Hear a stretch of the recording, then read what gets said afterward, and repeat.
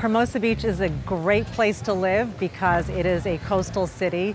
The beach is absolutely beautiful here. The quality of life is amazing here. It has an award-winning school district. It has a well-run city and a dedicated team of city staff that help everything run and make everything great here. It's special to me because not only is the police department fantastic, but the community members love us. They're all part of the team. Hermosa Beach is special and a great place to live, honestly, in my opinion, because of the intimate nature of our small business community. And they care about what happens with the future of Hermosa Beach. They're involved in decisions that are made and the future of this community because it's such a small and compact city, it brings all of us together. It compels all of us to work together in ways that I don't think is possible in larger cities. Hermosa Beach is over 100 years old. We're on Santa Monica Bay in the greater Los Angeles region. We have 20,000 residents who love to live here for all the recreational amenities we have and our proximity to everything else that greater LA has to offer. Our response to the pandemic first and foremost to act as quickly as possible and then to create opportunities for people to do the things that they need to do to conduct their lives in ways that were different from before. This led to our Hermosa Shines plan, which is our community's recovery and resilience plan. It's our effort to help our community to bounce back, but also to bounce back in a very resilient and sustainable way. SHINES is an acronym for Safety, Health, Infrastructure, new technology, economic development, and service. Our first and foremost priority was public safety. My initial plan to bring Hermosa Beach back from the economic impacts from this pandemic included bringing the executive team together quickly, right away. This includes all of the members of my leadership team, and we met daily. We met daily to talk about the impacts of COVID and the pandemic on our residents, on our businesses. So for brick and mortar businesses such as the yoga studios that weren't able to have their classes indoors, we invited them to do it outdoors. We had the opportunity to do outdoor dining decks with the complements of um, music outdoors. We had the opportunity to have more advertising outdoors with A-frames and banners saying what you could come and take out groceries from various restaurants or you could get your takeout.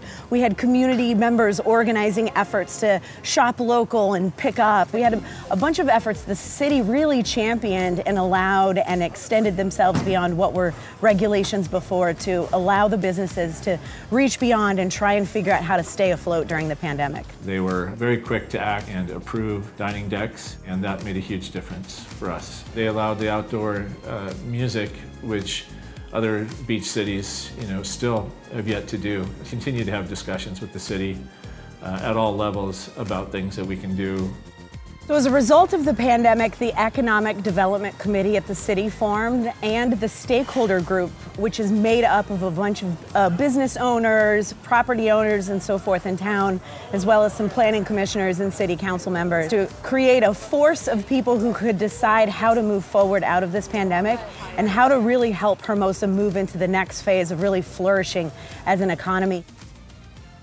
You can see right here on Pier Plaza and in downtown Hermosa Beach that we've transformed the roadways and the public spaces to allow our businesses to thrive during the pandemic. And they dovetail well into our efforts to create a walkable, bikeable community with the lane reconfiguration in downtown Hermosa Beach, we added a bike lane on Hermosa Avenue and Pier Avenue. This has been a tremendous benefit for all of us who love to bike, who love to skateboard, who love to just be in the outdoors and actually move about the city differently. We needed to make sure that our community who had these bikes and was using these bikes were able to keep these bikes safe and we were able to get out into the areas where a lot of the bikes started to interact with pedestrians to make sure that they were safe and engage in ed education programs using social media to get the word out, be safe, but enjoy and let's use our bikes to the, to the fullest extent. We became a much more relevant part of the city partnership and we worked with all the city teams. We developed a program that we call front lawn meetings. If there was a neighborhood issue, a concern, or just wanting to get to know the police department a little bit better, we would ask somebody to host it in their front lawn. We would go to them, they could invite their neighbors. And Project Secure was an operation where officers would drive around in the routine patrols. When they would see something that was a potential crime, uh, a garage door open, they'd either go knock on the door They would try and reach the owner, and if they couldn't, they would do what they could to secure the location. We developed a Project Secure card, which basically had a little bit of information they could fill in on this date at this time, and we dropped that inside the garage before we closed it. Huge success. We had community members calling us, thanking us, sharing it with their neighbors, and just the talk of Project Secure was something that ultimately created more awareness and more safety because people started locking their stuff.